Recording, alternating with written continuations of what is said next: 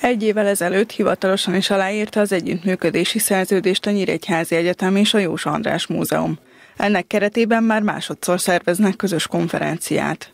A két intézmény közti szerződésnek nincs záró határideje, folyamatos az együttműködés. Hivatalosá is tettük ezt a kapcsolatot, amellett, hogy ez régóta él a múzeum és az egyetem között, tehát erről van egy kölcsönös együttműködési megállapodásunk. Amióta ez a megállapodás van, azóta még élénkebb ez a kapcsolat, de a lényeg az, hogy a múzeumnak az interdisziplinaritásával adódóan az egyetem próbálja ezt kihasználni, hogy bennünket akár régészet, történeti, néprajzi, irodalom történeti vonatkozásban meg lehet szólítani. Ennek keretében most egy érzékeny témáról tartanak konferenciát, ez pedig a drog.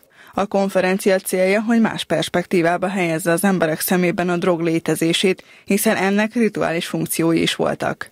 Erről bölcsészek, orvosok, pszichiáterek és jogászok is tartanak majd előadást. Egyszerre fókuszál a jelenre és a múltra, hiszen az előadók egy része a jelenkori droghasználat, orvostudományi, jogi, rendészeti problémáiról, illetve kihívásairól fog beszélni, de nem szabad e közben elfelejteni, hogy a, megvan a drog használatnak is a maga több ezer éves kultúrtörténete, és az előadások egy jelentős része, zömmel a Nyíregyházi Egyetem előadóinak a jóvoltából ezt a több ezer éves kultúrtörténetet fogja áttekinteni, a sámándrogoktól kezdve a dél-amerikai, illetve latin-amerikai indián kultúráknak a droghasználathoz való viszonyán, át ugye a boszorkány hiedelmek, boszorkány képzetek között megjelenő drog élmények, drog által kiváltott élmények is megjelennek, illetve említésre kerülnek a egyes előadásokban.